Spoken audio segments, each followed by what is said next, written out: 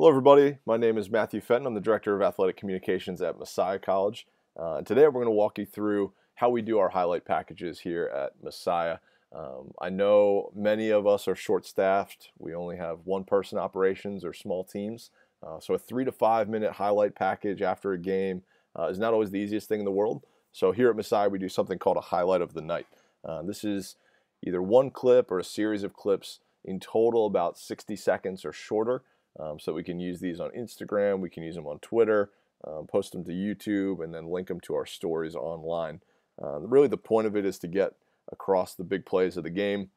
We do a voiceover with it as well, so it feels kind of like a Sports Center highlight package from back in the day, um, and does something pretty cool, so we can give some more context to the game. So to get started, uh, really the only things you're going to need are um, a clip from the game. So for us, we do this for any of our um, live streamed events.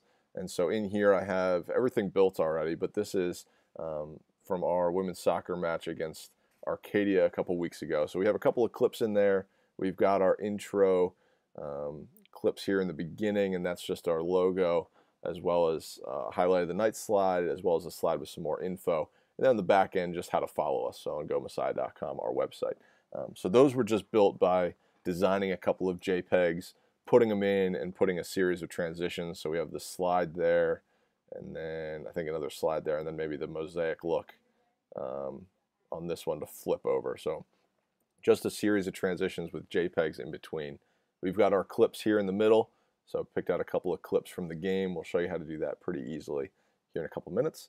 Um, and then down below, we've got uh, some music in the background as well as our voiceover down below. So that's kind of the, the main guts of this operation. Um, tonight or today, right now, we're going to be changing this over um, for a volleyball match that we just played last night. So to change this, all I'm going to do is jump into Photoshop and we're going to update this slide right here. So to change it from women's soccer against Arcadia, uh, we're going to change it over to uh, women's volleyball against Alvernia from last night. So we'll come in here, you can just change it. Um, really just having a template made is the hardest part. We change the, the opponent, team, and then the date on here. And then I just save them as a ping file. So when I'm clicked out of here, I'll be able to save.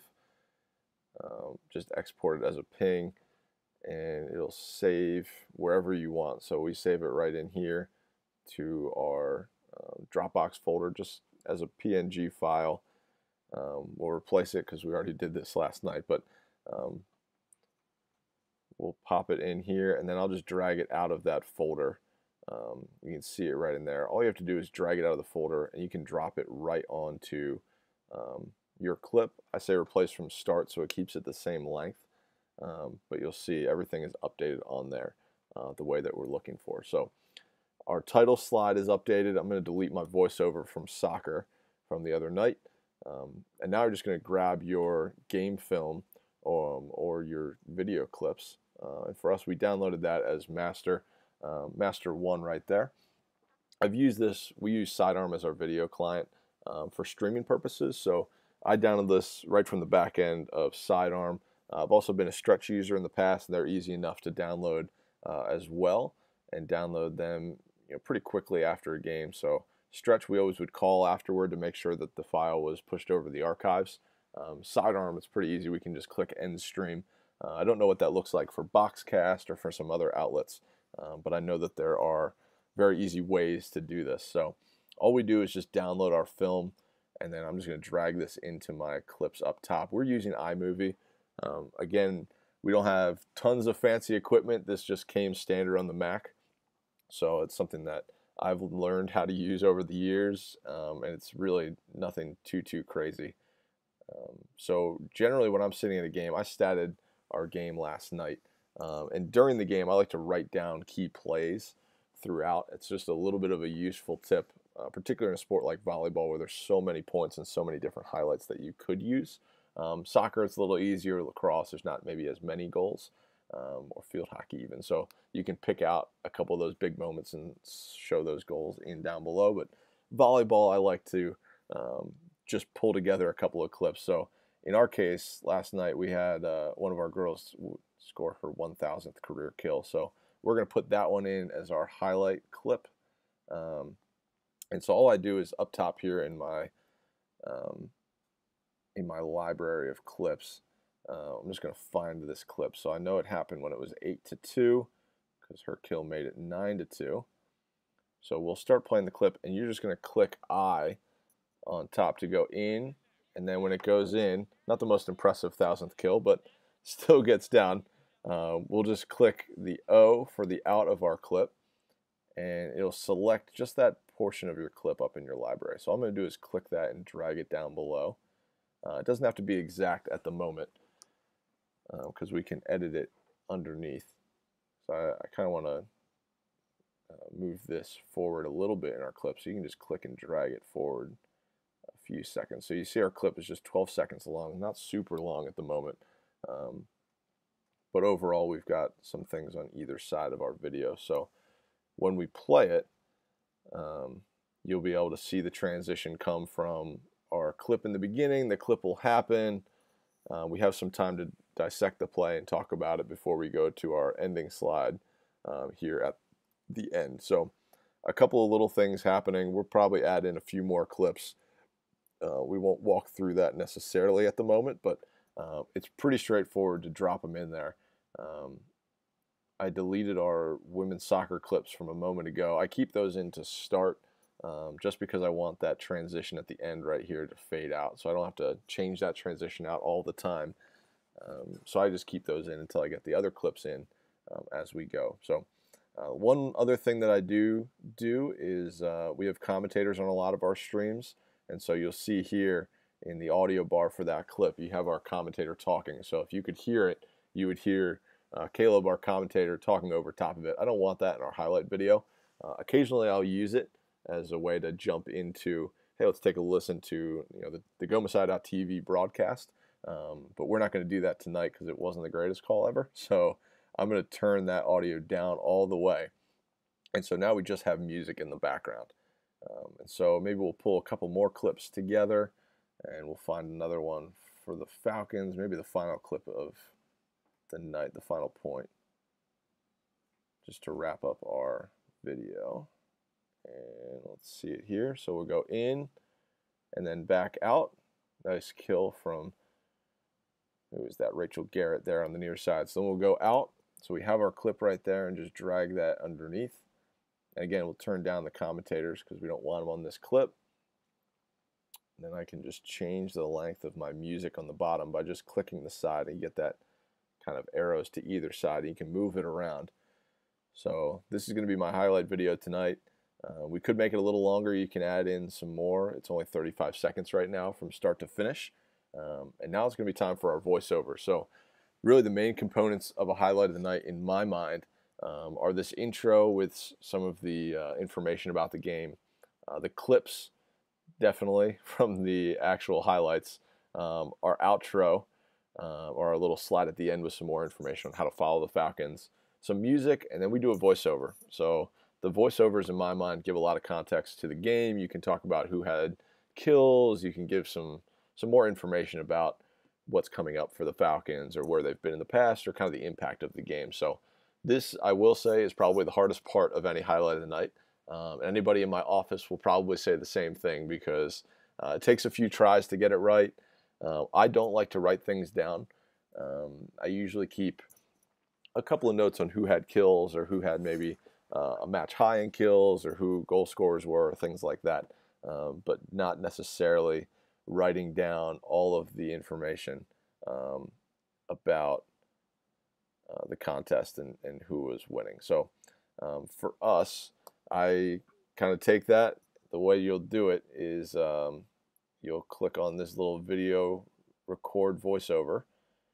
As you can see, the uh, little green dots here on the right are jumping around a little bit because there's some noise in our office. Um, but all you'll do is just click on this record button. It'll count you down as you start your clip, and then you'll record a highlight of the night. So I would say something like Messiah Women's Volleyball hosting the Arcadia Knights.